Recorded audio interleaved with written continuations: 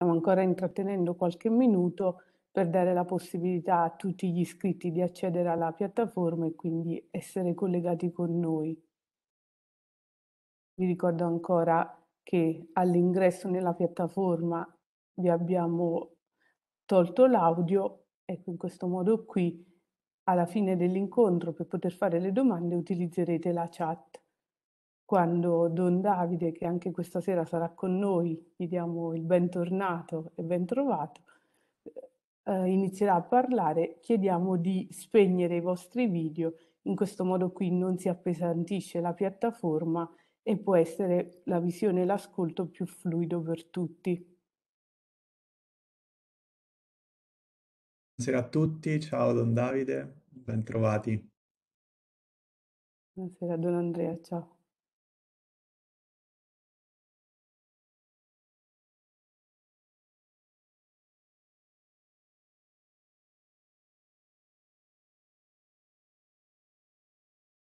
Iniziamo. Iniziamo il nostro terzo incontro di questo corso di formazione permanente per catechisti che ha come tema il Kerigma in Evangeli Gaudium.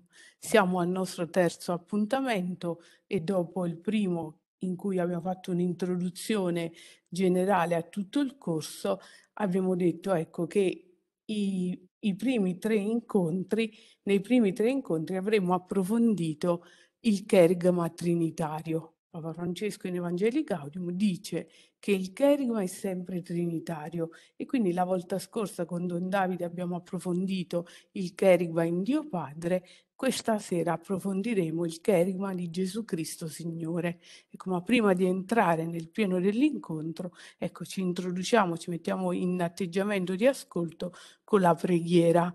Ecco, come al solito, leggerò io un salmo e voi partecipate con la lettura silenziosa. E allora iniziamo nel nome del Padre, del Figlio e dello Spirito Santo.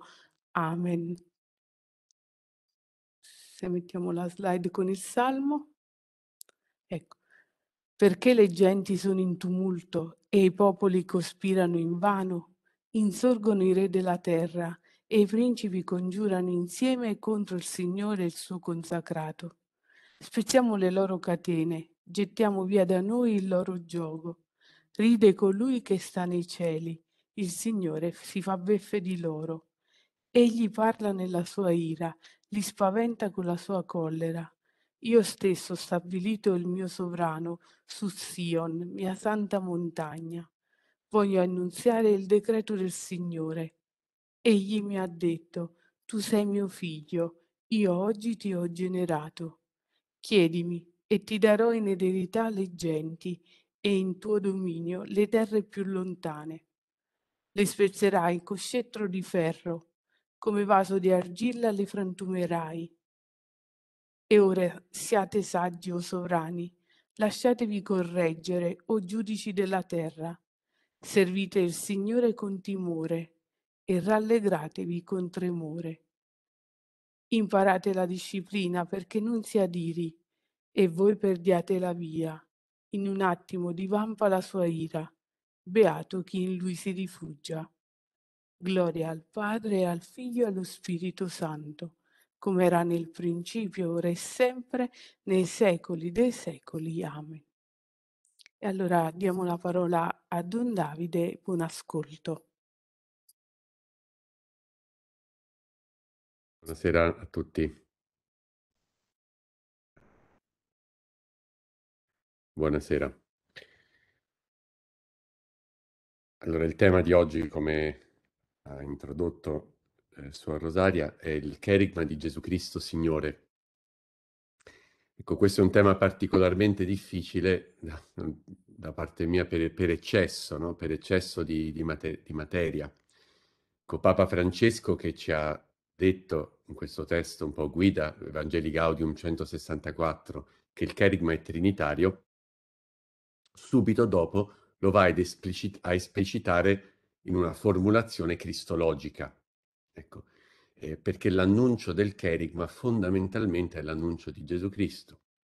Ecco, se noi andiamo adesso a, a leggere questa formulazione di Papa Francesco, dice così, Gesù Cristo ti ama ha dato la sua vita per salvarti e adesso è vivo a tuo fianco ogni giorno per illuminarti, per rafforzarti, per liberarti. Ecco, vediamo in questa formulazione ecco, un, ehm, uno stile fresco, in, molto intimo, personale, eh, dialogico, no? vicina all'uomo di oggi, un, un linguaggio anche proprio pers- di dialogo interpersonale. No? Eppure in questa formulazione si intravede nello sfondo ecco, tutto quello che è eh, l'annuncio, tutto quello che è l'annuncio ecclesiale, apostolico ed ecclesiale eh, del cherigma di Gesù Cristo in tutti i secoli. Forse il testo che gli è più vicino, con cui risuona di più questa formulazione di Papa Francesco, è il testo di 2 Corinzi 5, 14, 15 e 17, che è qui proiettato, dove dice l'amore del Cristo ci possiede, Caritas Christi urget nostro, ci spinge. E noi sappiamo bene che uno è morto per tutti, dunque tutti sono morti. Egli è morto per tutti perché quelli che vivono non vivano più per se stessi, ma per colui che è morto e risorto per loro. Se uno è in Cristo è una nuova creatura, le cose vecchie sono passate, ecco, ne sono nate di nuove. Ecco, che cosa accomuna questi due testi? No? Eh, in primo luogo c'è la, questa prima parola, l'apertura di Papa Francesco, Gesù Cristo ti amano, l'enfasi sull'amore che abbiamo qui anche nel testo di San Paolo. Poi vi è eh, un, un'allusione alla morte di Cristo che, dice il Papa, ha dato la sua vita per salvarti, no? e alla sua risurrezione quando dice ma adesso è vivo. Ecco, questo della morte e risurrezione è anche subito affermato da Paolo, che è morto per tutti ed è morto e risorto per loro, poi dice.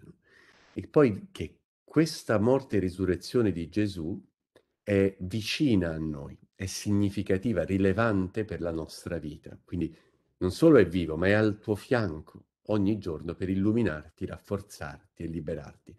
E in, que- in questo triplice scopo formulato da Papa Francesco vediamo come due versanti. Uno è un, il versante della liberazione dal male, no? Una salvezza che ci porta dal male al bene. Quindi quando uno è nelle tenebre riceve luce, è debole, senza forza, riceve forza, no? o un stato di schiavitù da cui veniamo liberati. Ecco, diversi modi in cui viene espressa una, l'uscita dal male al bene, un cambio di polarità. D'altra parte vi è anche la dinamica della crescita nel bene. Questo è particolarmente chiaro nel, nel rafforzare, no? eh, si rafforza qualcuno che è vivo, è anche un, un termine di crescita. Eh, un organismo che cresce si rafforza man mano che cresce. No? Quindi un passaggio dal bene al meglio. Proprio agganciandoci a queste due polarità del, dell'opera di Cristo per noi e dell'annuncio di, di Gesù nei con, nostri confronti, vorrei proprio rimenzionare l'apertura di eh, di, di questa lettera apostolica di Evangeli Gaudium, dove dice così, Evangeli Gaudium 1, la gioia del Vangelo riempie il cuore e la vita intera di coloro che si incontrano con Gesù. Ecco di nuovo la centralità cristologica di Cristo. Coloro che si lasciano salvare da Lui sono liberati dal peccato e poi possiamo in qualche modo vedere anche le, le, conseguenze, le manifestazioni del peccato, dalla tristezza, dal vuoto interiore, dall'isolamento. E d'altra parte, con Gesù Cristo sempre nasce e rinasce la gioia. Questo nasce e rinasce la gioia, la gioia è qualcosa di positivo, questo ritmo che nasce e rinasce sempre, di nuovo un, un ritmo di crescita dal bene al meglio. Quindi vi è questa contrapposizione tra la gioia del Vangelo al peccato con tutte le sue conseguenze, tristezza, vuoto interiore, isolamento. E, in, e questo, questa contrapposizione ha come passaggio Gesù Cristo, l'incontro con Gesù, e che è per noi l'incontro col Vangelo, l'annuncio, ecco qui, del cherigma. Ehm, questi due poli questo del, del peccato e, del, e, della gioia del Vangelo vengono approfonditi poi da Papa Francesco, Francesco nell'esortazione questa lettera apostolica, ehm, la situazione del peccato è approfondita in maniera molto attuale eh, in, nel numero 2. Lo leggiamo perché eh, ecco, vale la pena. Il grande rischio del mondo attuale, con la sua molteplice e opprimente offerta di consumo, è una tristezza individualista che scaturisce dal cuore comodo e avaro del, dalla ricerca malata di piaceri superficiali, dalla coscienza isolata, quando la vita interiore si chiude nei propri interessi, non vi è più spazio per gli altri, non entrano più i poveri, non si ascolta più la voce di Dio, non si gode più la, la dolce gioia del suo amore, non palpita l'entusiasmo di fare il bene. In questa descrizione molto contemporanea, attuale, vediamo come un'attualizzazione di ciò che diceva San Paolo quando parla dell'uomo che vive per se stesso. Ecco, vive per se stesso. La situazione del, del peccato che entra nella vita degli uomini in maniera eh, molto incisiva attraverso le dinamiche qui descritte. Dice e mette in guardia il Papa anche i credenti che corrono questo rischio, certo e permanente. Molti vi cadono e si trasformano in persone risentite, scontente, senza vite, vita. Questa non è la scelta di una vita degna e piena, non è il desiderio di Dio per noi, questa non è la vita dello Spirito che sgorga dal cuore di Cristo risorto. Ecco, quindi Cristo risorto, la, con l'annuncio di Gesù Cristo della sua risurrezione, fa scaturire un'altra vita, non questa vita chiusa in se stesso, ma una vita, diceva la seconda lettera ai Corinzi, per Cristo. Ecco, poi eh, parla eh, al numero 3 eh, di come sia urgente per, anche per i cristiani oggi rincontrare Cristo, no? curare questo incontro, questo rapporto con Cristo e a seguire parla della gioia del, di, di, Gesù, del, del Signore Gesù, preannunciata nell'Antico Testamento al numero 4 e poi nel numero 5, ecco che è qui esposto, la gioia di Cristo nel Nuovo Testamento con una selezione di brani. Dice il Vangelo dove risplende gloriosa la croce di Cristo, invita con insistenza alla gioia. Bastano alcuni esempi. Rallegrati è il saluto dell'angelo a Maria. La visita di Maria Elisabetta fa sì che Giovanni salti di gioia dal grembo di sua madre. Nel, can- nel suo canto Maria proclama il mio spirito esulta in Dio mio Salvatore. Quando Gesù inizia il suo ministero, Giovanni esclama ora questa mia gioia è piena. Gesù stesso esultò di gioia nello Spirito Santo e il suo messaggio è fonte di gioia. Vi ho detto queste cose perché la mia gioia sia in voi, la vostra gioia sia piena. La nostra gioia cristiana scaturisce dalla fonte del suo cuore traboccante. Egli promette ai discepoli, voi sarete nella tristezza, ma la vostra triste- tristezza si cambierà in gioia. E insiste, vi vedrò di nuovo, il vostro cuore si rallegrerà, nessuno potrà togliervi la vostra gioia. In seguito essi, vedendolo risorto, gioirono il libro degli Atti degli Apostoli narra che la prima comunità prendevano cibo con letizia, con gioia. Dove i discepoli passavano vi fu grande gioia ed essi in mezzo alla persecuzione erano pieni di gioia. Un eunuco appena battezzato pieno di gioia seguiva la sua strada. Il carceriere fu pieno di gioia insieme a tutti i suoi, i suoi per aver creduto in Dio. Perché non entrare anche noi in questo fiume di gioia? Ecco, quindi Ecco quello che presenta Papa Francesco come frutto, questo cambiamento dal, dall'annuncio, l'incontro con Gesù Cristo e con la sua risurrezione. Ecco, è lui il motivo di questa gioia, la fede in lui, e, e che a noi ra- raggiunge tramite il cherigma di Gesù Cristo. Ecco, allora vogliamo chiederci qual è il contenuto, ecco, il contenuto di questo cherigma. Avanti, ecco qual è il contenuto del cherigma di Gesù Cristo, Signore. Ecco, allora adesso questa sarà la prima sezione del nostro incontro. Possiamo abbozzare una risposta a questa questione in, in cinque punti. Il contenuto di questo cherigma è in primo luogo Gesù stesso, Gesù Cristo, Signore, Figlio di Dio. Secondo punto di questa risposta è il mistero pasquale, la morte e risurrezione di Cristo che troveremo ne, nell'annuncio del Cherigma. Terzo punto, l'annuncio della conversione e il perdono dei peccati. Quarto punto, compimento delle promesse di Dio. Quinto punto, il dono dello Spirito Santo. Ecco, questi cinque punti non so se è una lista esaustiva, ma mi sembrano i punti principali che compaiono nei tantissimi annunci del cherigma di Gesù Cristo che troviamo nel Nuovo Testamento e di cui vogliamo avere adesso un assaggio esaminando proprio questi punti nella parola di Dio.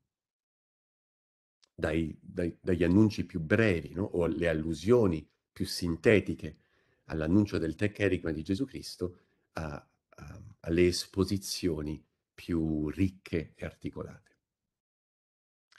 Quindi metterò qui su, sul lato de- sinistro delle slide i cinque punti, eh, lasciando evidenziati dei cinque quelli che si ritrovano nel brano in questione.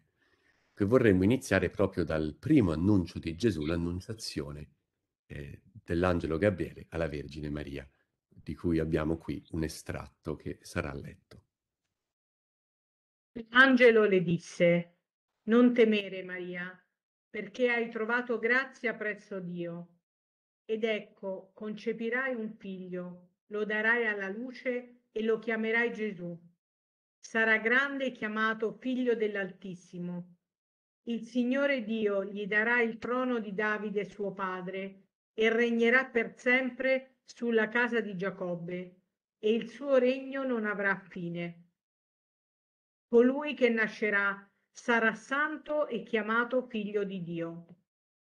Ok, quindi abbiamo evidenziato in questa prima slide eh, due punti. Quindi il primo punto è l'annuncio de- dell'identità di colui che nasce, Gesù, che significa Salvatore, che è un nome e una missione già, e figlio dell'Altissimo, figlio di Dio, come sinonimi. In centro, ecco vi è questa forte ripresa delle promesse davidiche nel secondo libro di Samuele 7,14, dove Dio promette una discendenza eh, di cui lui sarà padre, lui mi sarà, eh, io gli sarò padre, lui mi sarà figlio, di, promette Dio, questa discendenza davidica, eh, il cui regno Dio renderà stabile per sempre. Ecco, questa promessa eh, viene ripresa e se ne annuncia il compimento.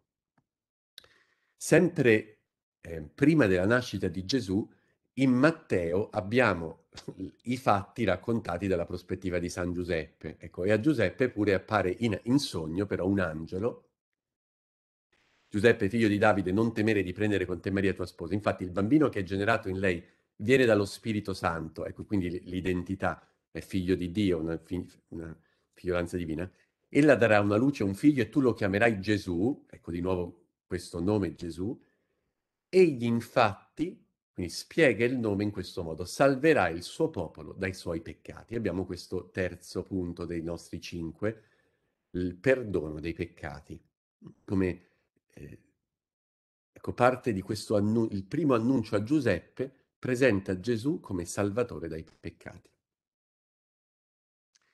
Sempre in rapporto alla nascita di Gesù presentiamo un ultimo testo, un testo in qualche modo profetico che di tutto quella che sarà l'economia di Gesù.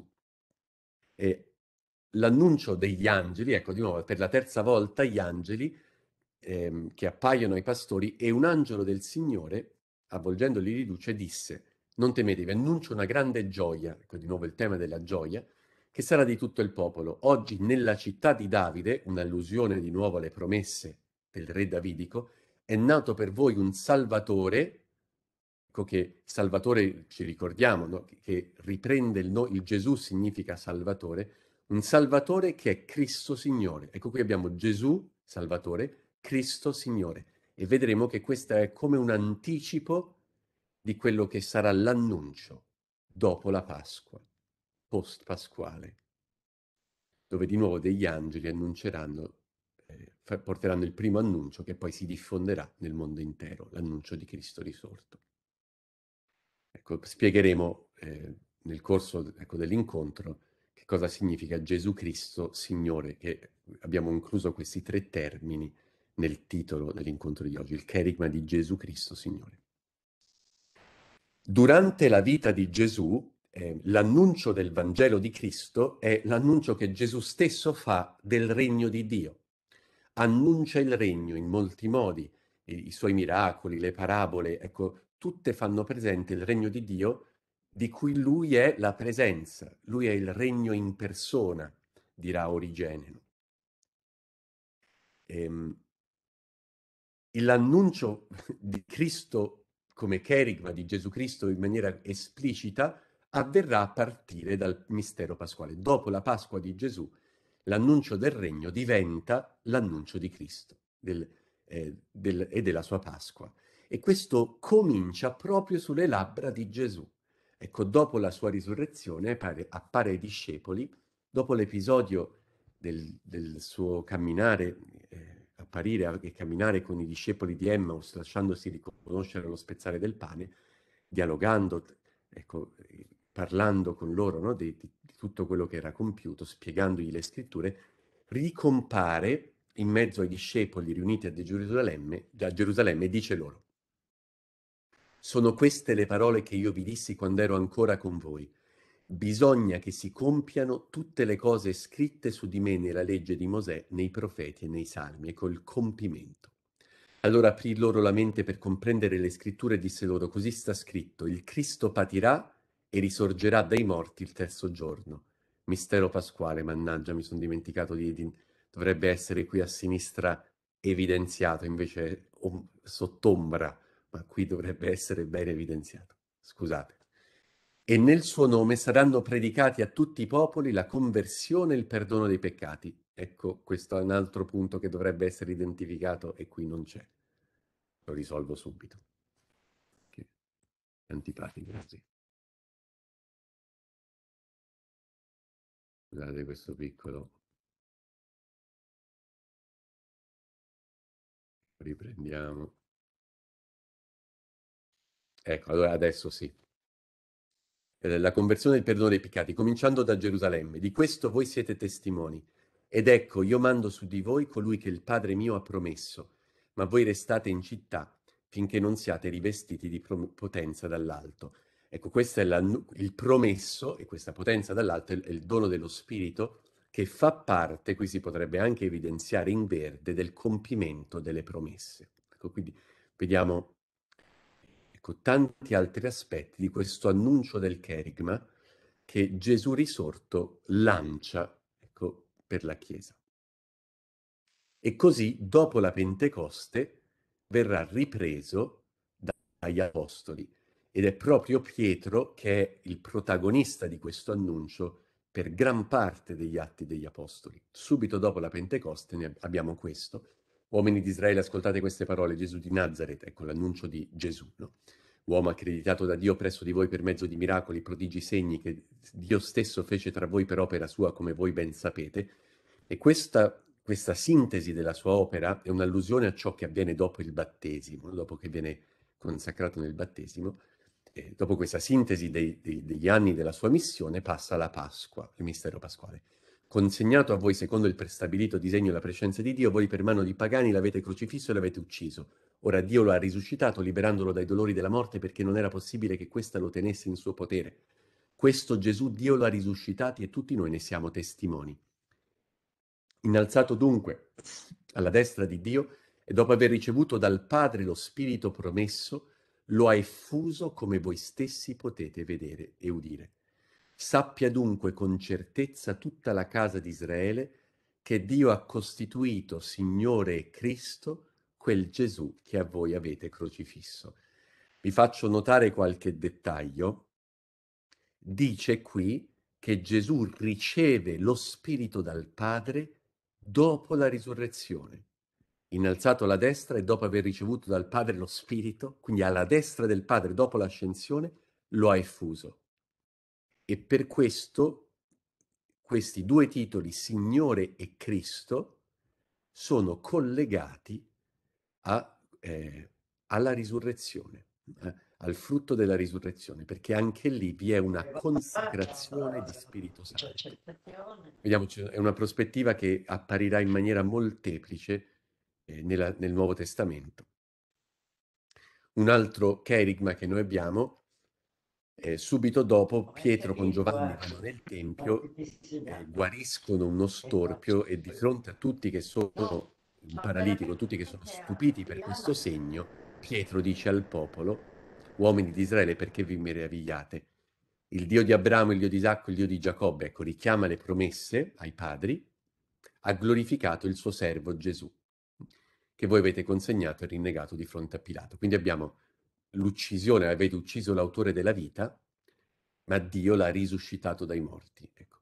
Ora, fratelli, so che avete agito per ignoranza, come pure i vostri capi, Dio ha compiuto ciò che aveva preannunciato per bocca di tutti i profeti, che cioè il suo Cristo doveva soffrire. Convertitevi dunque e cambiate vita, perché siano cancellati i vostri peccati e così possano giungere i tempi della consolazione da parte del Signore ed egli manda colui che aveva destinato come Cristo, cioè Gesù. Qui c'è la, una nuova attesa dell'invio di Cristo, della parusia, che prospetta Pietro. Poi breve, un breve cherigma ai, nella, al Sinedrio, il Dio dei nostri padri è risuscitato Gesù che voi avete ucciso appendendolo a una croce. Dio lo ha innalzato alla sua destra come capo e salvatore per dare a Israele conversione e perdono dei peccati. E di questi fatti siamo testimoni noi, lo Spirito Santo che Dio ha dato a quelli che gli obbediscono. Ecco, tornano sempre questi cinque temi. Questo è il, il cherigma fatto a Cornelio, un pagano, eh, Ecco, parla di Gesù, Signore di tutti, che Dio consacrò in Spirito Santo e potenza.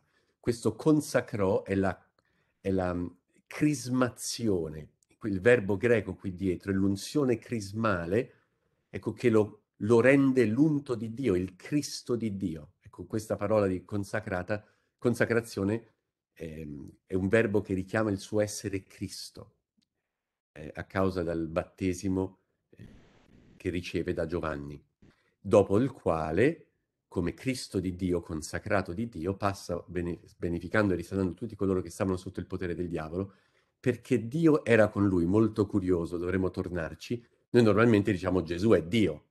Qui invece dice Dio era con lui a partire da questa consacrazione nello Spirito.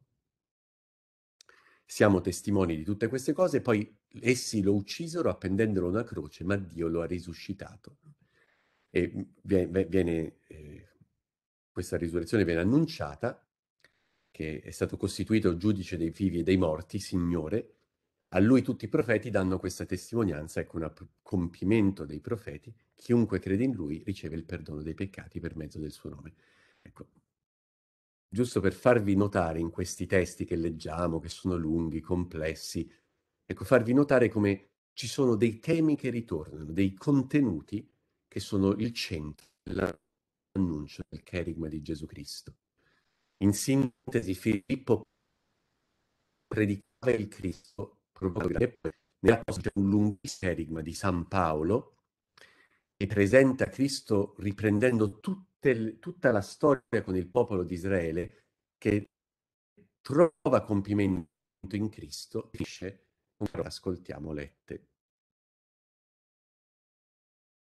Dalla discendenza di lui, secondo la promessa, Dio inviò come Salvatore per Israele Gesù. Gli abitanti di Gerusalemme, infatti, e i loro capi non l'hanno riconosciuto e pur non avendo trovato alcun motivo di condanna a morte, chiesero a Pilato che egli fosse ucciso. Dopo aver dempiuto tutto quanto era stato scritto di lui, lo deposero dalla croce e lo misero nel sepolcro ma Dio lo ha risuscitato dai morti ed egli è apparso per molti giorni a quelli che erano saliti con lui dalla Galilea a Gerusalemme. E questi ora sono testimoni di lui davanti al popolo. E noi vi annunziamo che la promessa fatta ai padri si è realizzata, perché Dio l'ha compiuta per noi, loro figli, risuscitando Gesù.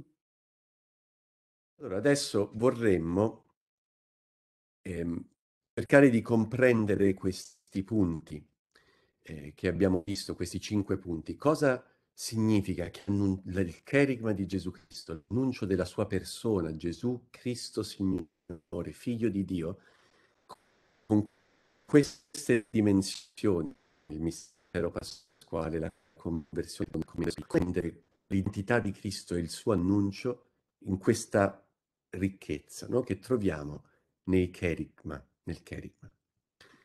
Allora, per cercare una comprensione di questo mistero annunciato, e seguiremo tre passi ecco, che vogliono un poco raccogliere la riflessione credente ecco, del, della Chiesa che ha ricevuto questo annuncio e l'ha sperimentato vero, no? e, forte, vi, opera, operante no? Nel, pers- in ogni persona, in ogni credente e nella Chiesa nel suo insieme. E tramite questa esperienza dell'annuncio accolto, eh, la riflessione è cresciuta e ecco, i tre punti che presentiamo sono il primo, Cristologia discendente e ascendente, secondo punto, la figliolanza divina di Gesù, terzo punto, il mistero di Gesù e la nostra salvezza. Come, que- come ciò che avviene in Gesù nel mistero di Cristo, poi è buona notizia, eh, che, quindi cherigma, annuncio per noi. Allora adesso con pazienza entriamo in questo meraviglioso mistero. E vi annuncio che è un po' difficile, vi, pre- vi preavviso, non è facilissimo seguire, però se avrete la, la pazienza ecco, di, di, di, ascoltare, di cercare di capire, ecco, spero di, di poter, poter, aiutare a entrare in, nella meraviglia. È come un, un, il capolavoro più grande che vi è, il, ecco, ciò che Dio ha compiuto in Cristo. Allora iniziamo da questa parte, la cristologia discendente e ascendente. Allora, se noi ehm, guardiamo il Nuovo Testamento, la Chiesa che riflette sulla rivelazione di Cristo, si può sintetizzare la riflessione ecclesiale nel Nuovo Testamento in due titoli. Il titolo Gesù è il Logos e Gesù è il Cristo. Il Logos è il verbo, no? il verbo eterno del Padre, e poi Gesù è il Cristo. Questi due titoli corrispondono a due prospettive il Gesù e il Logos co- corrisponde a quella che possiamo chiamare la prospettiva di una cristologia discendente che ha come testo centrale Giovanni 1,14, il verbo si è fatto carne, eh? ha posto, eh, la, e ha posto la sua dimora in mezzo a noi. Noi diciamo nel credo, no? Scese dal cielo e per opera dello Spirito Santo si è incarnato nel seno della Vergine Maria. Questo scese dal cielo, la, questa prospettiva discendente era un, il verbo eterno che preesisteva presso il Padre eternamente, ecco, eh, Dio con Dio, Dio da Dio, luce da luce, eternamente presso il Padre, dalla divinità scende, discende, ecco, si, si fa carne. E in questa prospettiva il rapporto tra Gesù che è Dio e che è uomo è quello dell'unione ipostatica. Il verbo eterno, figlio, il figlio eterno di Dio, si unisce ipostaticamente, cioè nella persona, eh, nella sua persona, nella sua ipostasi, si unisce, unisce a sé, assume la natura umana. Quindi c'è un'unione ormai inscindibile, ecco, impressa nella stessa persona eterna del figlio, tra la natura divina del fi- della persona del figlio di Dio e la natura umana che lui ha assunto. Questa è la prima prospettiva, Gesù che è sceso a noi. È la prospettiva dominante nei concili cristologici, ecco, in, in um, Nicea, eh, Costantinopoli, ad Efeso, ecco, del IV-V secolo. Ma nella scrittura e, e nei primi secoli troviamo fortissima un'altra prospettiva che è sintetizzata nella proclamazione Gesù è il Cristo. Che cosa, è, che cosa c'è qui? Allora, il testo chiave, ehm, uno dei testi chiavi è, è Atti 10, eh, Atti 10, 38 che abbiamo visto prima, dove dice che eh, il, in quel cherigma di Pietro dice che fu consacrato di Spirito Santo e Dio era con lui. Questo è il secondo testo chiave di quella che possiamo chiamare una cristologia ascendente è Romani 1, 1, 4, che ora vi leggo, che è un testo sorprendente, perché anche se è una, è una prospettiva molto presente nel Nuovo Testamento, siamo così abituati all'altra che Gesù è Dio e basta, Gesù è, è Dio, è il figlio di Dio, no? Per, per, l'insistenza che a partire dalle eresie che negavano questa divinità di Gesù, l'arianesimo in primis, no? e, e, e, la risposta dei concili, l'insistenza su questa identità che Gesù è Dio, è il figlio di Dio, è il Logos, ha messo un po' in penombra quest'altra prospettiva importantissima. Gesù è il Cristo. Allora leggiamo Romani 1.1.4 dice è Paolo che si presenta nella lettera ai Romani, Paolo, servo di Gesù Cristo, apostolo per chiamata, scelto per annunciare il Vangelo di Dio, dice il Vangelo che, quindi l'annuncio che riguarda il figlio suo, il figlio suo è il figlio eterno, nato dal seme di Davide secondo la carne, quindi nato nella carne, costituito figlio di Dio con potenza, secondo, quindi è il figlio di Dio, il figlio suo, ma è costituito figlio di Dio con potenza, secondo lo spirito di santità, in virtù della risurrezione dei morti. Gesù Cristo nostro Signore. Una dice, è il figlio, sì, ma questo figlio nasce secondo la carne ed è nato secondo la carne, viene costituito figlio di Dio con potenza secondo lo spirito di santità e con il ruolo dello spirito nel costituirlo figlio di Dio in virtù della risurrezione.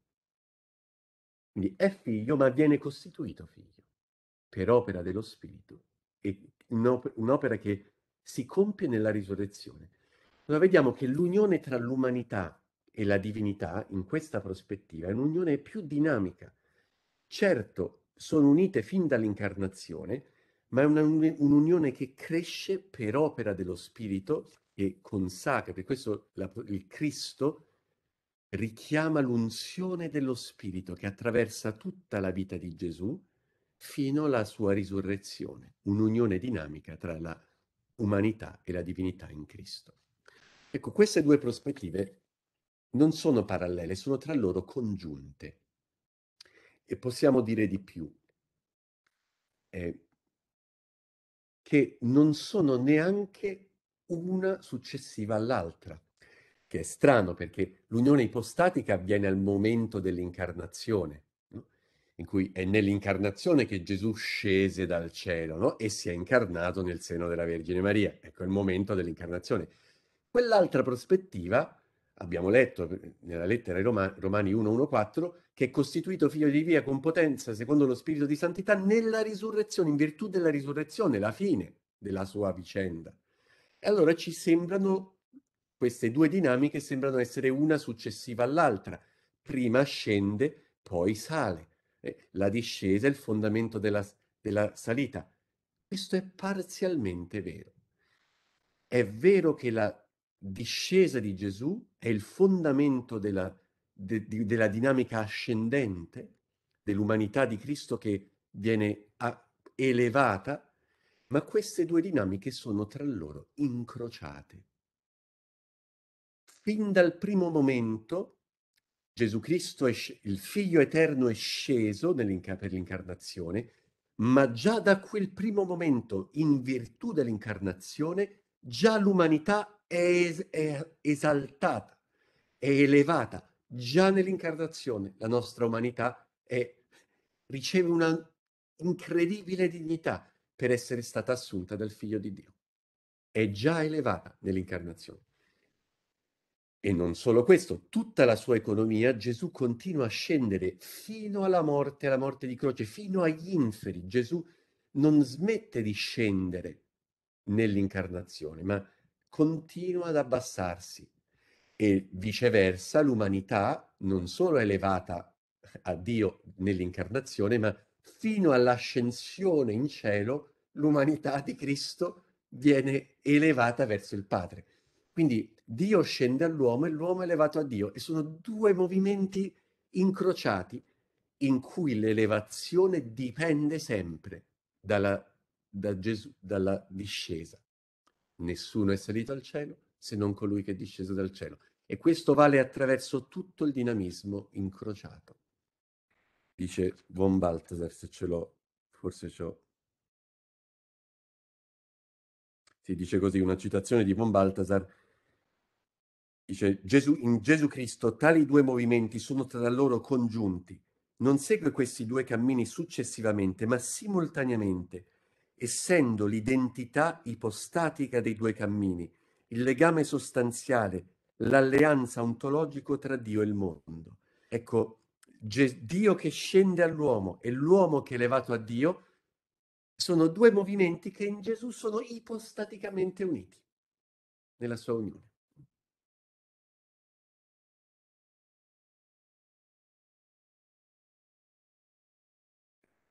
Qualcuno chiede di annotare il contenuto condiviso, ma rifiuto perché continua, può creare caos.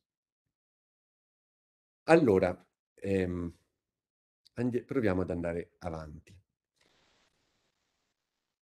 Perché questo inter- perché ci interessa? No? Perché non ci stiamo solo complicando la vita con tutti questi discorsi, cristologia discendente, cristologia ascendente, ma che significa per noi? No? Ma che rilevanza ha?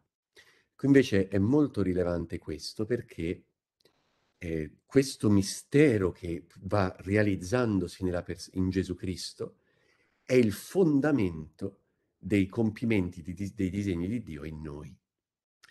Possiamo vedere come tre livelli di filiazione.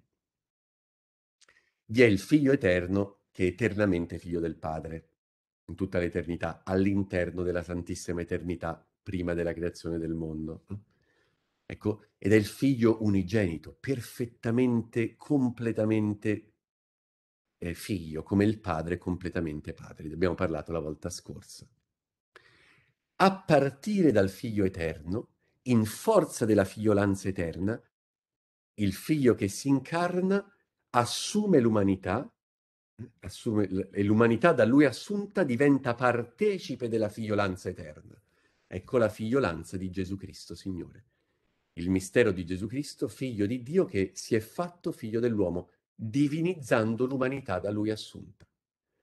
E poi, terzo livello, e per questo è importante capire bene questo secondo livello, il terzo livello è la figliolanza nostra, che è partecipazione e l'estensione a noi di ciò che avviene nel, nel figlio.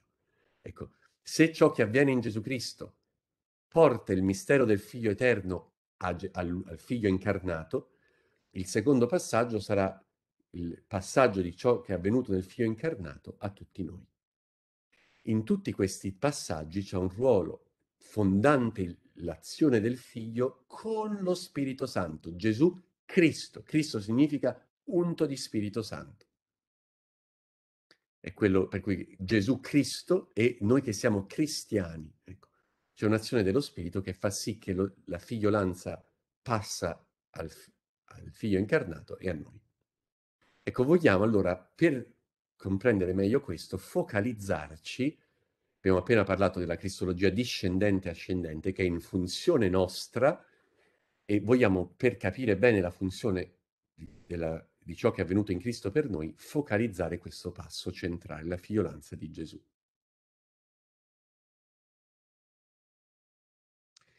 Allora, la figliolanza eterna del figlio eterno presso il Padre nella Trinità è il fondamento di ciò che avviene in Gesù con un dinamismo, abbiamo detto, ma un dinamismo che ha dei momenti chiave. Vi è l'incarnazione per opera dello Spirito Santo, vi è il battesimo di Gesù, momento centrale che, che inaugura ecco, la sua la missione salvifica che lui compirà e che avrà il suo culmine nel mistero pasquale con la risurrezione di Gesù dai morti. E in tutti questi tre, pass- pa- tre passaggi c'è un ruolo fondamentale, lo Spirito Santo. Gesù è il Cristo, non solo Gesù è il Logos eterno, ma perché è il Logos, lo Spirito Santo agisce e quindi Gesù Cristo vive questo, questo dinamismo che ora cerchiamo di approfondire. Allora iniziamo dall'incarnazione. Lo chiamerai Gesù. Questo è il primo passo, l'incarnazione di Gesù. Ecco, abbiamo già visto che eh, viene chiamato figlio dell'Altissimo, figlio di Dio, quindi è il figlio eterno che si incarna per opera dello Spirito Santo e quindi già fin dal primo momento della, della sua esistenza lo Spirito Santo agisce. Possiamo vedere questa azione dello Spirito Santo nella, in quell'aspetto di creazione, di nuova creazione che avviene nell'assunzione della natura umana eh, che Gesù fa nel, nel grembo della Vergine Maria.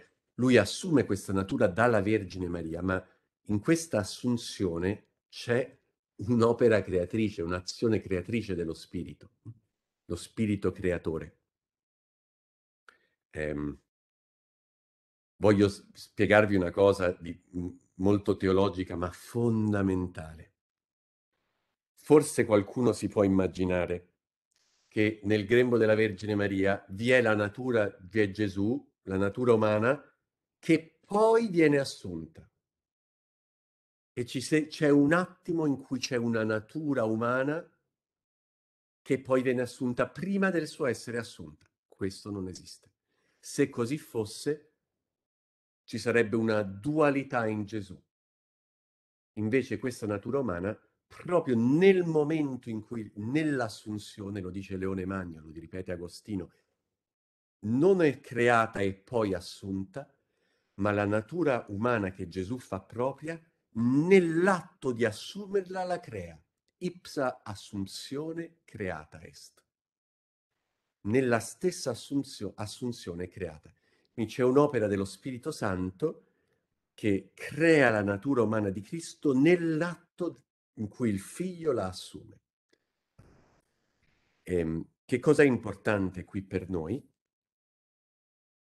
Ehm, ecco, chi viene in, incarnato per opera dello Spirito e lo Spirito Santo agisce e agisce ehm, in una, in una vita del, di Gesù, che da piccolino, che nasce, che cresce, che è una vita filiale.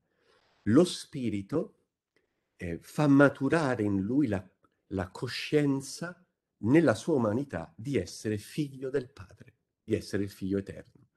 Poi sappiamo pochissimo di questi primi anni fino al battesimo di Gesù, ma il poco che sappiamo è molto significativo. Vi è l'episodio della fuga in Egitto a causa della persegu- di Erode che vuole uccidere il bambino e Matteo interpreta questo brano con la profezia dall'Egitto ho chiamato mio figlio. Cioè che anche in questo evento, questa fuga in Egitto da cui deve poi tornare, vi è coinvolta la figliolanza che il padre ha nei confronti di questo uomo, Gesù, l'uomo Gesù. È figlio di Dio, chiaro, ma è un uomo.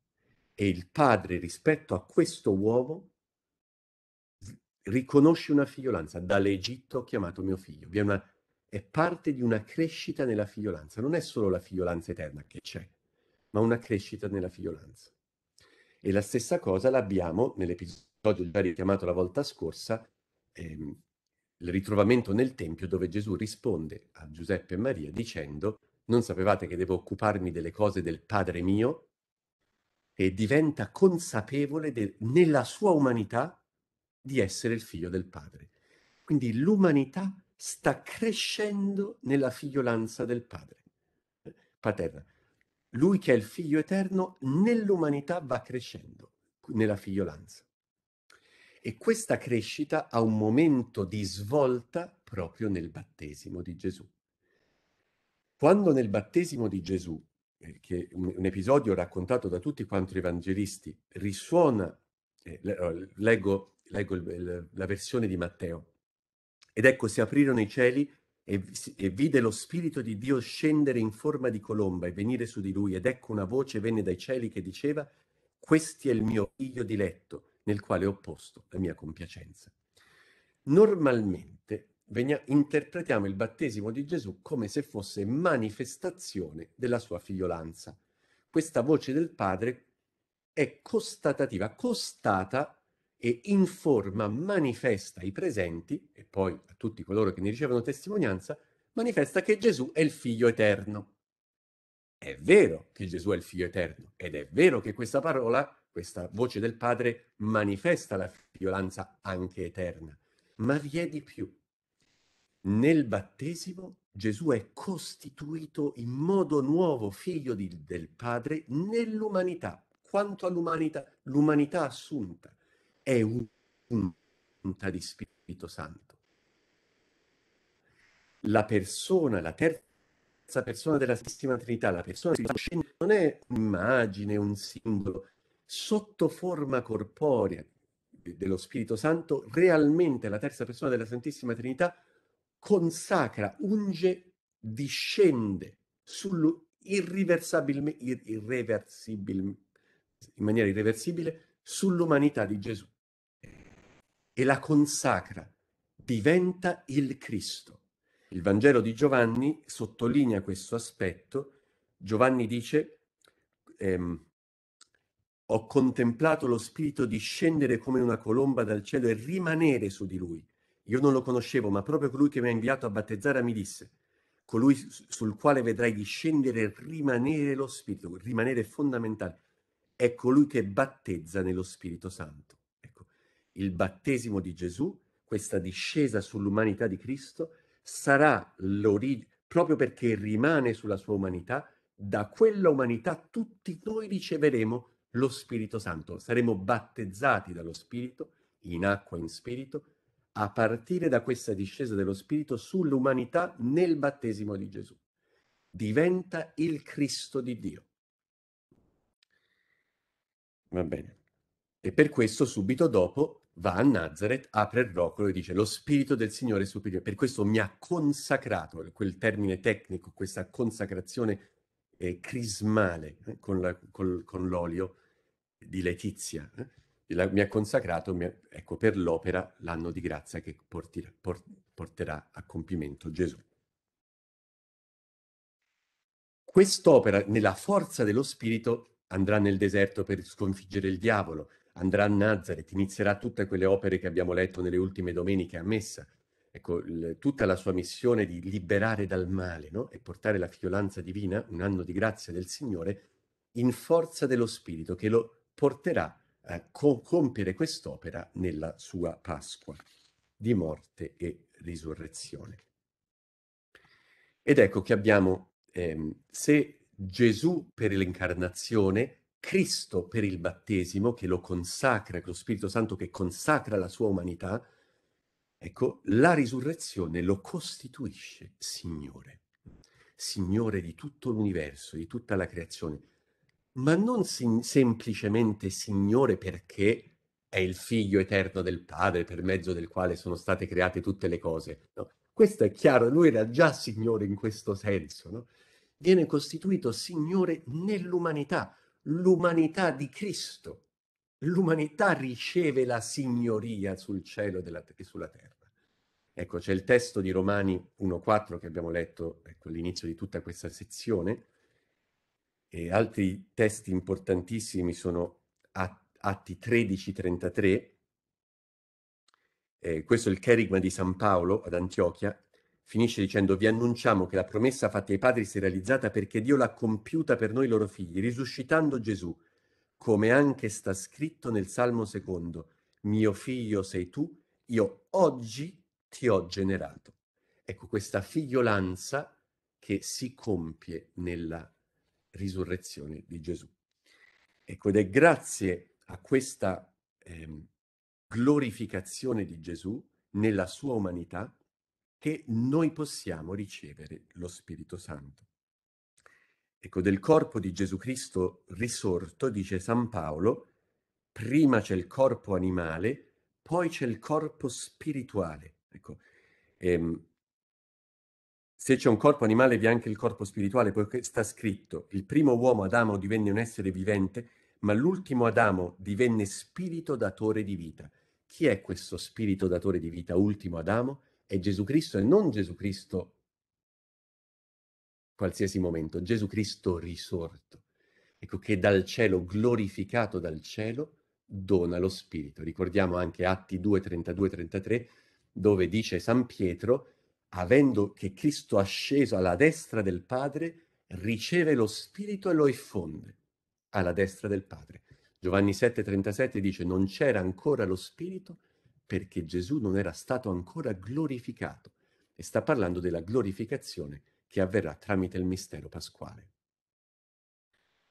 Quindi quando noi diciamo Gesù Cristo è il Signore, noi stiamo, questa professione di fede include tutto il mistero della sua vita, in cui lui prende la nostra, discendendo dal cielo e scendendo fino agli, agli inferi, prende la nostra umanità e la innalza fino alla gloria del Padre. Ecco allora, per concludere quindi questa riflessione sul mistero di Cristo, leggiamo il meraviglioso ascoltiamo il meraviglioso inno dei Filippesi, dove ci sono proprio questi due eh, movimenti, la kenosi e l'esaltazione di Gesù Cristo, e conclude con la professione Gesù Cristo è il Signore.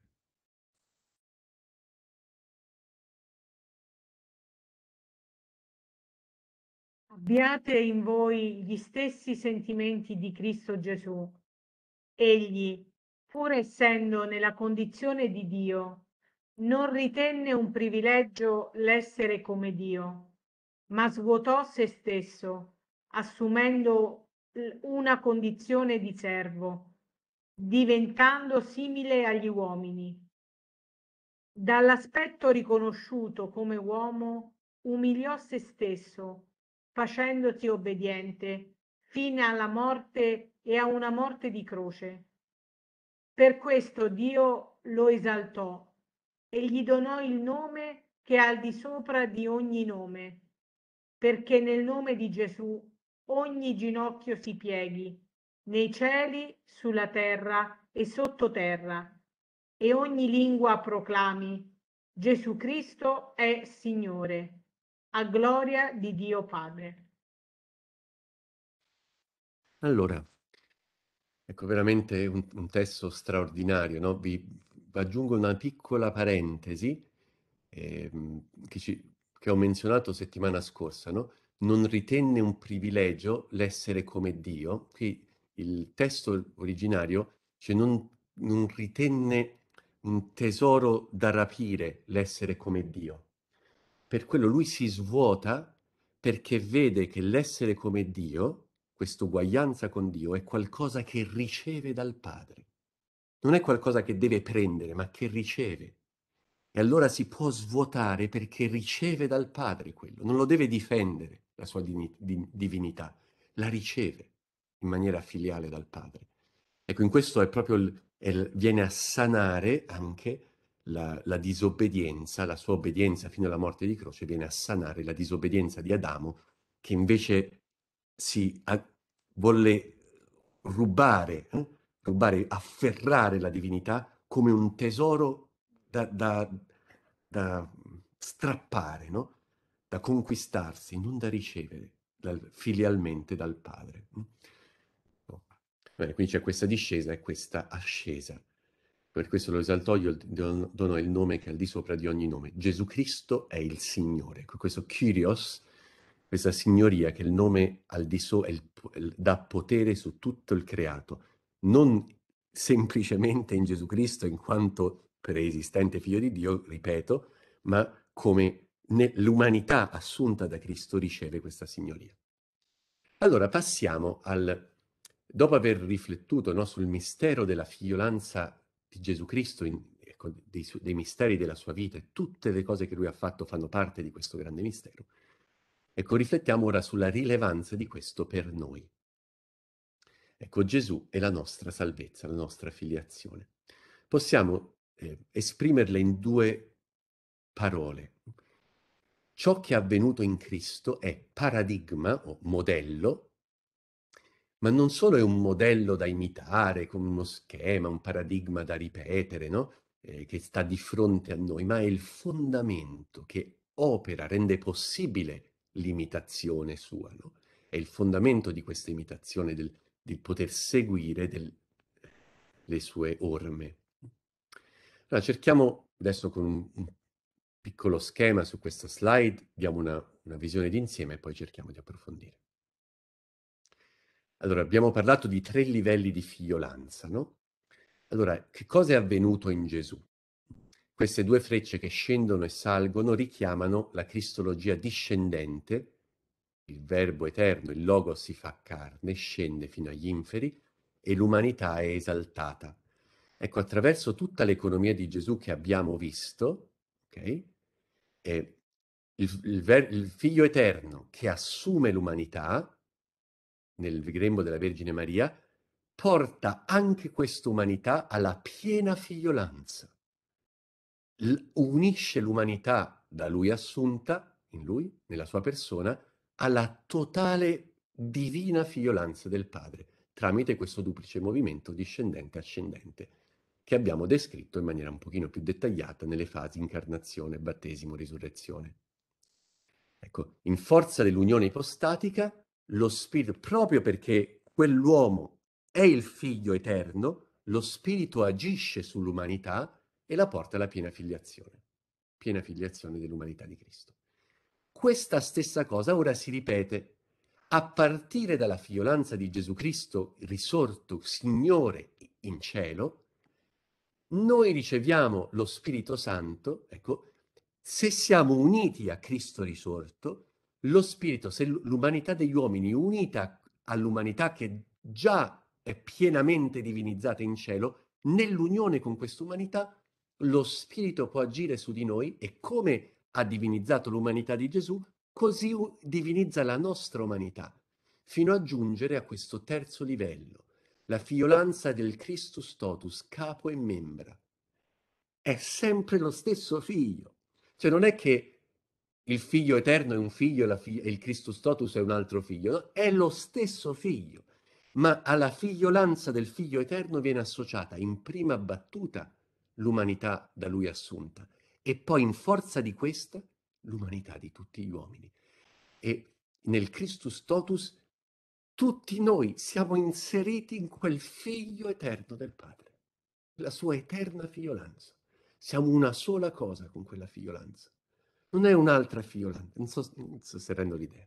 Va bene, allora adesso cerchiamo, a partire da questo quadro di insieme, adesso vogliamo focalizzare un po' meglio il paradigma prima e poi fondamento. A Gesù, paradigma. Quindi abbiamo visto che nella sua storia, nella su- nei misteri della sua vita, ha tracciato un percorso. No?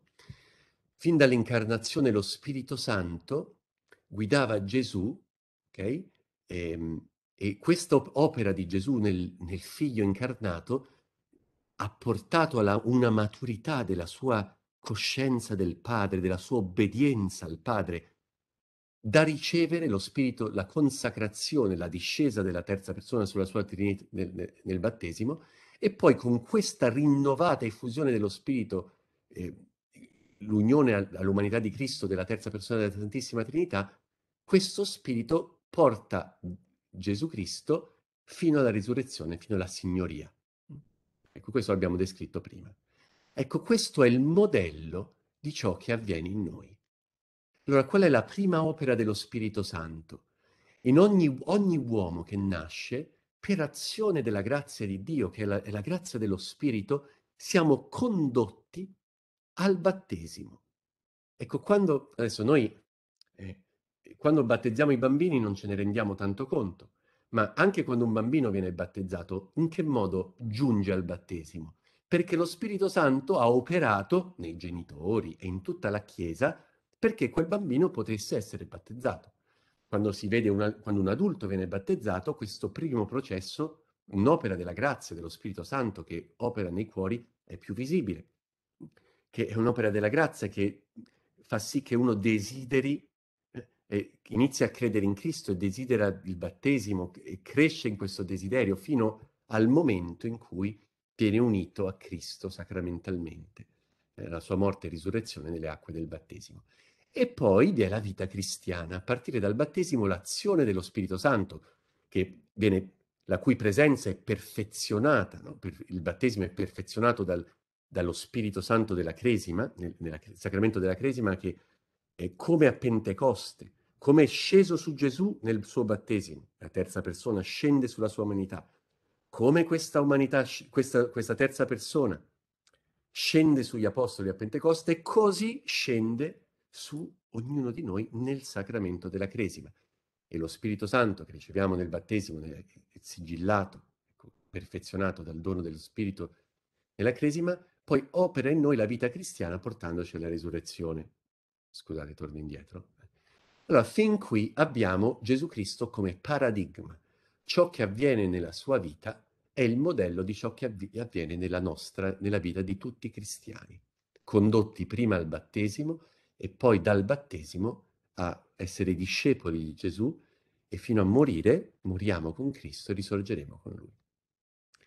Ma Gesù non è solo paradigma, ma è anche fondamento di tutto questo processo che avviene in noi a somiglianza di ciò che avvenne in Lui. In che modo è fondamento? Nel senso che eh, tutto ciò che avviene in noi avvi- eh, può avvenire in forza di un'unione con Gesù, con lo Spirito Santo che ha divinizzato l'umanità assunta da Gesù, da Gesù Cristo, ha potuto agire sull'umanità assunta perché era l'umanità del Figlio eterno. Non so se capite, cioè l'azione che ha portato al battesimo di Gesù è possibile perché quell'uomo su cui scende lo Spirito era il Figlio e per quello può ricevere lo Spirito Santo. Ecco, la stessa cosa vale per noi. Ecco, lo Spirito Santo può guidare ogni uomo a Cristo in maniera che non è indipendente da Cristo, ma perché ogni uomo ha una prima unione con Cristo in forza della, della nostra natura. La natura umana, l'uomo è creato Adamo, dice la lettera ai Romani 5,14, Adamo è figura di colui che doveva venire in Adamo vi è già un anticipo, un, un rapporto prolettico, si dice, cioè di anticipazione al verbo incarnato. La carne di Adamo è l'anticipo, è la promessa, dice Tertulliano, è pegno dell'incarnazione che è libera, non è do- obbligatoria, non è che Dio si deve incarnare, rimane libera. Ma la carne, la carne degli uomini, già di tutti gli uomini, anche prima di Cristo, è in vista, è creata, siamo creati nella carne in vista del verbo incarnato. Questa chiamata, rapporto con, prolettico con il verbo incarnato, quando il figlio veramente si incarna, viene ancora rafforzato. Una volta che il figlio eterno ha preso la carne, ogni uomo ha un rapporto con Cristo, già per avere la natura umana. Lo dice il Concilio Vaticano II, Gaudium et Spes 22, che con la sua incarnazione si è unito in certo qual modo ad ogni uomo. E, ed è in forza di questa unione con Cristo che eh, già nella creazione in, per la vocazione a essere figli nel figlio e poi a partire dalla vocazione in forza dell'unione tra Cristo e la natura umana Ogni uomo è unito a Cristo e per questa unione lo Spirito Santo agisce su di noi e ci guida, guida tutta l'umanità verso il battesimo. Ogni uomo, perché ha la natura umana, ha un rapporto con Cristo e quindi lo Spirito di Cristo guida ogni uomo verso il battesimo, verso la Chiesa, verso l'entrata nella Chiesa nel battesimo. Poi che succede? Quando veniamo battezzati, abbiamo una nuova unione con Cristo. Non abbiamo solo un'unione con la, con la natura di Cristo incarnato, abbiamo un'unione con il, la natura di Cristo risorta. So se è, ecco, l'incarnazione era un primo stadio. Quando veniamo battezzati, siamo battezzati nella sua morte, immersi nella sua morte e risurrezione. È un contatto fisico reale con Cristo risorto, il suo mistero pasquale. E questo contatto si rafforza poi nell'Eucaristia, la partecipazione all'Eucaristia, dell'importanza dei sacramenti dell'iniziazione cristiana. Ecco che ci uniscono al mistero pasquale di Cristo, al corpo risorto di Cristo e, a, e all'azione dello Spirito Santo che è possibile in forza di questa unione con il mistero pasquale di Cristo. E così, ecco, noi, per questo noi possiamo seguire Cristo, seguire le sue orme. E infine saremo uniti alla risurrezione di Gesù, quando saremo uniti a, alla gloria di Gesù, al corpo, non solo al mistero pasquale, ma al, al, al corpo glorioso di Gesù. Perché il corpo risorto non è ancora il corpo glorioso.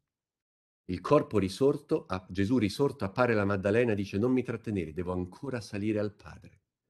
E ci sono 40 giorni prima dell'ascensione, il tempo dell'attesa, dell'entrata, prima dell'entrata nella terra promessa 40 anni, prima, eh, ecco, prima dell'entrata nel cielo del risorto, di colui che già è risorto, 40 giorni. E dopo 40 giorni entra nella gloria. L'ascensione porta il corpo di Gesù nella gloria del Padre. Quando Gesù tornerà, tornerà, ne, eh, o meglio, quando verrà di nuovo, non è giusto dire tornare, perché tornare sembra come prima, invece no, verrà nella gloria, è venuto prima nella, nell'umiltà, ora siamo uniti con lui al mistero pasquale che è presente nei sacramenti, quando tornerà Gesù Cristo, eh, quando verrà, mannaggia, sempre dico tornerà, quando verrà nella gloria del Padre, la sua umanità porterà la gloria del Padre. E così, uni, avendo contatto a Lui nella gloria, risorgeremo con Lui. Per questo ri, la risurrezione è legata alla parusia, alla venuta di Cristo glorioso.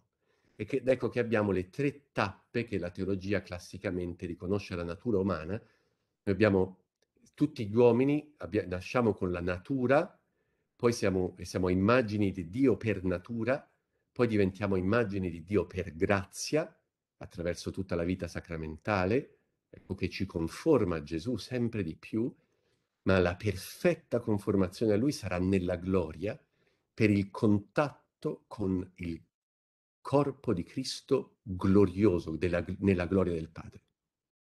Quindi vedete che eh, e ci sarà in rapporto a quel contatto una, una pienezza di spirito ancora nuova, come Gesù stesso, asceso nella gloria del Padre, e, rive, e rie, riceve una pienezza di Spirito Santo maggiore che poi riversa su tutti gli uomini.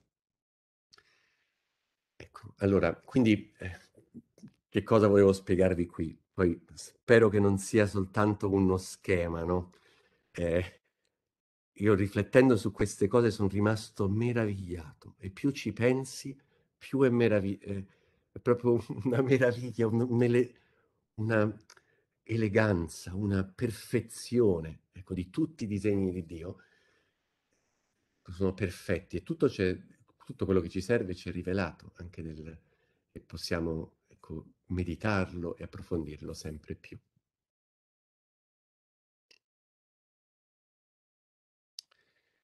Quindi Gesù è il modello di ciò che, che Dio compie in noi, la filiazione divina, no? che noi entriamo ad essere figli nel figlio, il corpo su Christus totus, ecco, figlio eterno in cui siamo anche noi.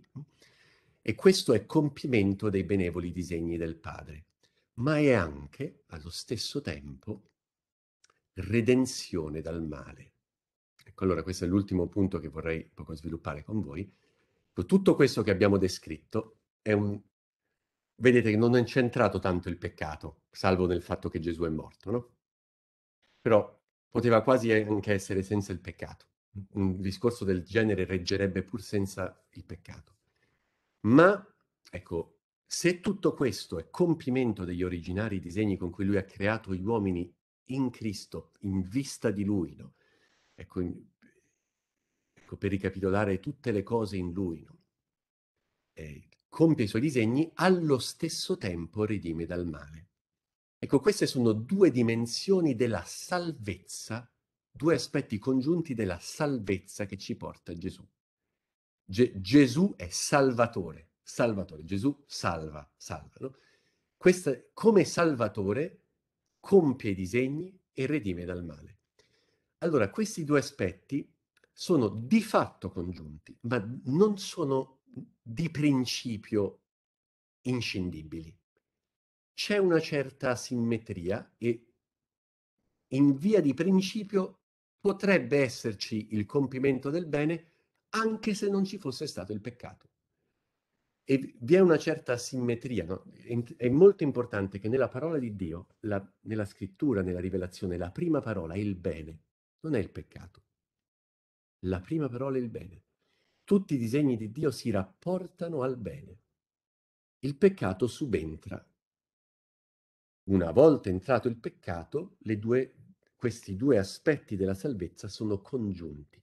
Di fatto sono congiunti e da parte nostra quod nos, e cioè, ci sem- cioè noi sperimentiamo il compimento dei disegni del Padre, la figliolanza, nel perdono dei peccati, nella, nella misericordia. Ma i disegni, la figliolanza che Dio ci dà non si esaurisce nel perdono dei peccati, è di più e corrisponde a un disegno che precede il peccato. Quindi c'è una un, un, una asimmetria, una maggior, un peso maggiore che ha la polarità del bene rispetto alla storia del peccato che pur ha, di fatto ora Gesù è venuto per i nostri peccati perché non poteva salvarci nel senso di una, portarci la pienezza della vita, dei disegni di Dio, senza affrontare il peccato. Però non è che sia, incar- sia incarnato per liberarci dal peccato, di fatto ma l'incarnazione ha, ha ragion d'essere anche senza il peccato degli uomini.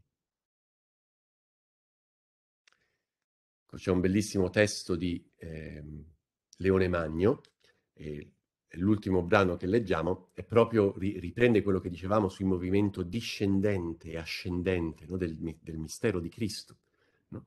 che questo incontro tra Dio e l'uomo che avviene nella sua persona dinamicamente, no? Eh, per poter poi essere partecipato a noi, è un incontro la cui, dove la discesa no, non deve solo superare l'abisso tra il Dio increato e, la, e l'uomo creato, ma l'abisso tra il bene e il male, tra la vita e la morte. Eh, dice così, per elevarci a, a sé discese fino a noi e discese al punto da assumere non solo l'umana sostanza, che avrebbe fatto anche senza il peccato, ma anche la condizione della natura soggetta al peccato, accettando anche la impass- che, che la divina impassibilità patisse nella sua persona ciò che miseramente sperimenta l'umana mortalità. Quindi discende fino al peccato, fino alla morte, perché da lì prende l'uomo e lo innalza fino alla gloria del Padre. Va bene. Allora, ehm, chiaramente quando uno annuncia il kerigma non si mette a fare tutti questi discorsi, questo è evidente, no? Però, eh, come vi, vi, diceva anche Don Andrea nel primissimo incontro, no? questi incontri vogliono essere eh, non tanti incontri di, eh, su come insegnare, fare catechismo ai bambini, no? quanto incontri che ci aiutano noi per primi no? ad approfondire anche tramite un minimo di comprensione per quanto sono sempre misteri che sfuggono infinitamente a ogni... Eh, questo, meravigliosamente sfuggono alla nostra comprensione, no? Eppure tutto quello che Dio ha rivelato rifulge anche di una bellezza eh, di, eh, ecco, alla nostra mente, no? di luce per la nostra mente, che ci aiuta ad apprezzare la, la meraviglia dei disegni di Dio, il suo amore l'eleganza, no? la perfezione di Dio, della rivelazione, della nostra vita, di tutto quello che, che viviamo. E, ehm, e, spero ecco, che i, i punti fondamentali, no? teologici che sono stati esposti possano poi servire anche a ri, ritraducendoli no? Eh, in una catechesi eh, semplice, no? accessibile, vicina, personale, no? Però possa permetterci di annunciare in maniera sempre più ricca la, la bellezza del mistero di, di Gesù, il cherigma di Gesù Cristo Signore.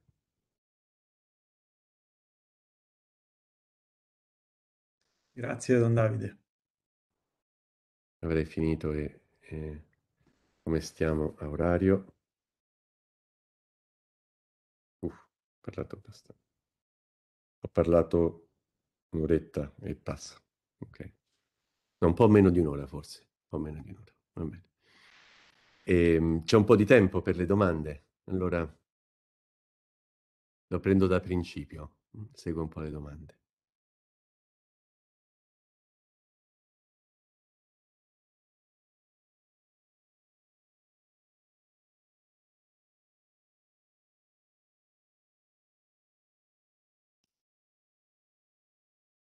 Ah, si sentiva male? No, si sen- vedo...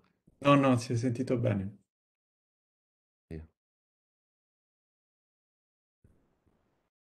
Non sono ancora arrivate alle domande nella chat. Eh, ce n'è una sul cromosoma Y. Atteso che Gesù è vero Dio e vero uomo nell'incarnazione, il cromosoma Y di Gesù com'è costituito originato?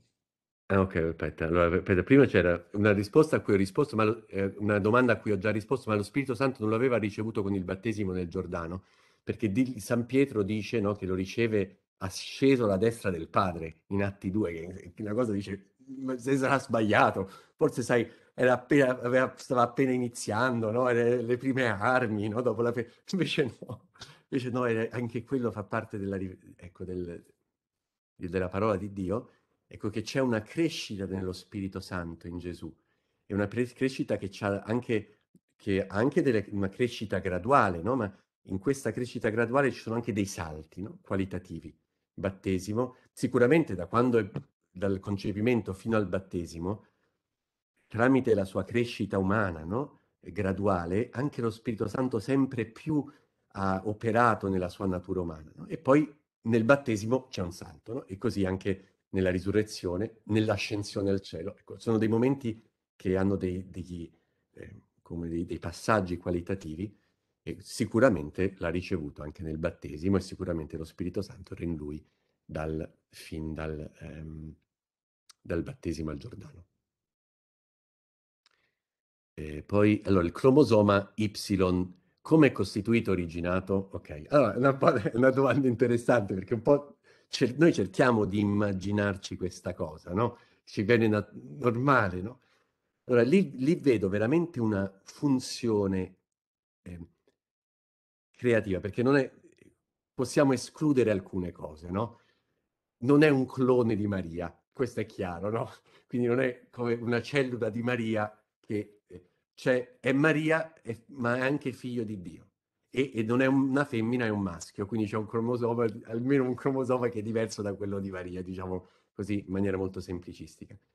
Io penso che quello che da, dalla rivelazione possiamo forse dire, che c'è un'azione creativa dello spirito, una funzione creativa dello spirito, ehm, ma che non precede l'assunzione. Questo è il, il punto teologico molto importante, è questo, che non è che si va a creare una cellula umana che poi viene assunta dal verbo, ma la costituzione di quella cellula per opera dello Spirito Santo, quindi opera e lo Spirito Santo è crea- creatore, ha creato l'universo, Dio può creare, no? Quindi c'è un'opera creativa, in che modo poi quel, l'opera creativa abbia in, messo insieme la carne da Maria con un operare creativo di Dio, sta a Dio. Noi sappiamo dal modo di agire rivelato che interviene il meno possibile nelle leggi della natura.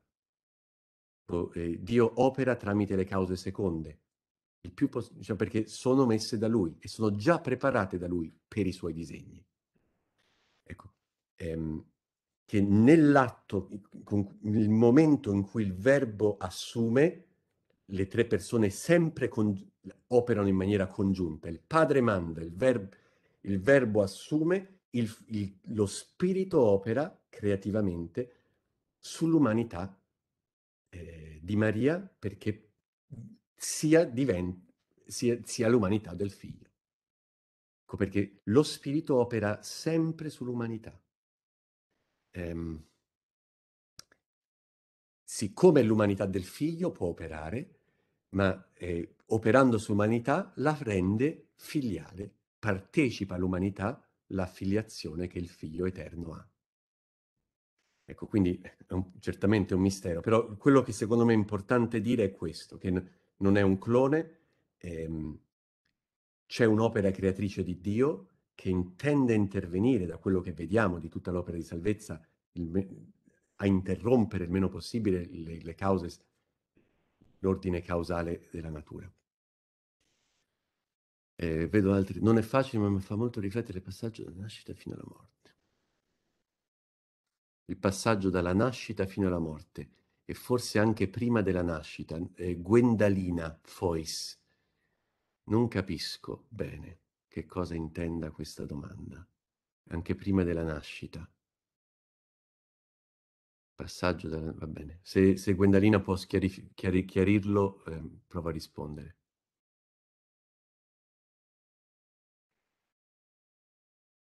Gesù ha ricevuto, allora Gianni dice, Gesù ha ricevuto lo Spirito nel Giordano, ma quando si è incarnato era già ripieno di Spirito Santo? Ok, allora quindi è una buona domanda, no? Ora, ehm, secondo me il modo più chiaro per spiegare questo è distinguere diverse presenze. È chiaro che Dio è sempre presente al creato, Dio è onnipresente. Eppure, quando il Verbo si è incarnato, nel mondo vi è una presenza nuova del Verbo. Tutto è stato creato per mezzo di Lui, tutto esiste in Lui. No? Nulla sussiste senza di Lui, l'inno dei Colossesi 1, eppure nell'incarnazione compare una presenza nuova del Verbo eterno. Ecco, questo lo capiamo un po' bene perché quella nuova presenza è visibile. No? Lo Spirito Santo anche è sempre presente. Gesù è stato concepito per opera dello Spirito Santo, lo Spirito Santo opera su di lui e la grazia di Dio, dice po- le poche cose che ci dice no, dell'infanzia di Gesù, no, che cresce sotto l'influsso della, della grazia di Dio che era su di lui e che possiamo certamente identificare con lo Spirito Santo, l'azione dello Spirito. Ma lo Spirito che lui possiede in quanto figlio eterno non era ancora come persona presente nella sua umanità. Questo avviene nel battesimo, che la persona del fi- dello Spirito scende e consacra la sua umanità. Ed è stessa, la stessa differenza che vi è con la Pentecoste. Nella Pentecoste già Gesù aveva dato lo Spirito ai discepoli, aveva soffiato, ricevete lo Spirito Santo dopo la risurrezione. Ecco, questo si può spiegare in tanti modi, anche eh, diversi impianti teologici dei diversi evangelisti, no? Ma è certo che gli, gli, apostoli, stando con Gesù, avevano ricevuto lo, lo, lo Spirito, l'aveva, eh, già, ma in quel momento lo ricevono in modo nuovo. E per quello noi nella cresima anche, eh, nel battesimo, siamo battezzati in acqua e spirito. Siamo battezzati in acqua e spirito. Eppure, nella cresima, eh, invochiamo proprio questo scarto, no? diciamo, eh, come già dagli apostoli al giorno di Pentecoste. Ecco, chiediamo la consacrazione di chi viene cresimato in questo modo. Ed è la presenza personale de- della persona dello Spirito nei nostri cuori. Ecco, Gesù, come ci sono due missioni, no? Dio manda il Figlio nell'incarnazione, manda lo Spirito Santo a Pentecoste. Ecco, una missione divina ecco un nuovo, una nuova presenza dello Spirito Santo nell'umanità che è aperta dal battesimo di Gesù e partecipata a noi tramite il sacramento della Cresima.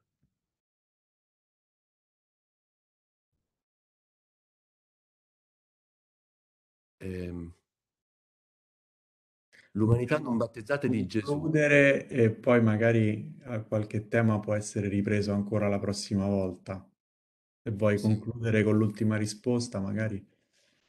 Ehm, allora, l'umanità... Mm. Non, riesco a seguire. Non so. L'umanità non battezzata come Gesù li salva, di chi sono figli? Ok, va bene, questa è una importantissima eh, domanda. Questa posso rispondere, poi le altre, se le salviamo, le vediamo la prossima volta. So, se avete visto, no? Ehm, quella, quando vi ho spiegato che Gesù è il, non è solo il paradigma, ma il fondamento della, di, del, di, ciò che avviene in noi, della nostra salvezza. Vi ho fatto vedere che c'è un'azione dello Spirito Santo su tutti gli uomini in forza della nostra natura che è retta dall'unione di natura che abbiamo con il Verbo incarnato. Prima dell'incarnazione c'era già un'unione prolettica eh, perché Adamo è creato in vista dell'incarnazione. Dopo l'incarnazione in cui Gesù si è unito in certo qual modo con ogni uomo, ogni uomo è in certo qual modo unito a Gesù e in forza di questo lo Spirito Santo dirige gli uomini verso la salvezza. Allora, ehm, dice Gaudium Spes 22 alla fine che dobbiamo ritenere così grande e tanta è la salvezza, il mistero della salvezza che ci arriva, dobbiamo ritenere che lo Spirito Santo dia a tutti gli uomini modo di venire in contatto, come Dio sa, con il mistero pasquale di Cristo. E quindi quello Spirito ehm, che agisce su tutti gli uomini portandoli verso il battesimo, che è l'incontro col mistero pasquale di Cristo, col, con Gesù Cristo nel suo mistero pasquale, noi riteniamo che in forza di questo originario legame di natura con il verbo, con, con il verbo incarnato, lo Spirito Santo agisce in tutti perché arriviamo a una qualche unione col mistero pasquale. Quindi c'è una salvezza aperta a tutti, ma non, non c'è un'economia dello Spirito, cioè una salvezza che viene dallo Spirito Santo e una salvezza che viene da Cristo. No, Cristo è il Salvatore universale e quella salvezza universale, l'universalità di Cristo, è anche, è anche universalità della Chiesa come presenza del, mister, del, del, del mistero pasquale, del corpo risorto di Cristo. Come si viene in contatto di, nel modo che Dio conosce? Ecco, il concilio risponde così, cioè crediamo che che tutti vengono salvati secondo questa economia, in diversi, ma secondo, diciamo, con una diversità di posizioni in un'unica economia, ma che è sempre un'economia dello, del figlio e in forza del figlio dello Spirito Santo che ci rende figli di Dio, unendoci al suo mistero pasquale, perché poi possiamo entrare nella sua gloria. Quindi eh, è una questione di direzione, no? Anche di, di, di le cose di Dio non sono bianche e nere, anche il mistero di Cristo non è un, un fatto, è un, è un evento. Anche la Pasqua non è un punto, è un evento. La nostra vita è un evento, la nostra accoglienza della grazia è un evento. E allora anche uno che non ha mai conosciuto Cristo può attendere, può desiderare Cristo, lo può sperare in Lui. C'è un bellissimo testo di Sant'Ireneo che dice proprio questo, no? che, che Gesù Cristo salva tutti gli uomini anche coloro che sono vissuti prima di Cristo, eh, attraverso l'attesa e la speranza della sua salvezza. Chi attende e spera Cristo, chi cerca Dio con cuore sincero, ecco, è, è, è l'azione dello Spirito di Cristo in lui eh, che lo, lo muove, è, la, è già un'accoglienza di Cristo e poi come Dio sa, questa accoglienza diventa pasquale, anche un contatto col mistero pasquale. Aggiungo io, ma questa è una mia opinione, che la morte di ogni uomo, il fatto che ognuno di noi comunque muore, una, potrebbe essere il collegamento universale al mistero della morte di Cristo per poi poter risorgere con lui. Quindi è un punto di collegamento co- concreto, reale, come lo è la nostra natura che è legata concretamente con Cristo, siamo tutti anche legati a lui nella morte che lui ha realmente vissuto e que- questo dà a tutti gli uomini un contatto col mistero pasquale, che è salvifico solo però perché Cristo c'è e perché c'è l'azione dello Spirito. Non so se abbia chiarito o confuso ancora di più. Comunque va bene. Comunque va bene così. Per... va bene così. Bene, Concludi- concludiamo ringraziando Don Davide Ecco, ci diamo appuntamento alla prossima settimana e dopo quello che abbiamo ascoltato non possiamo concludere invocando la Trinità.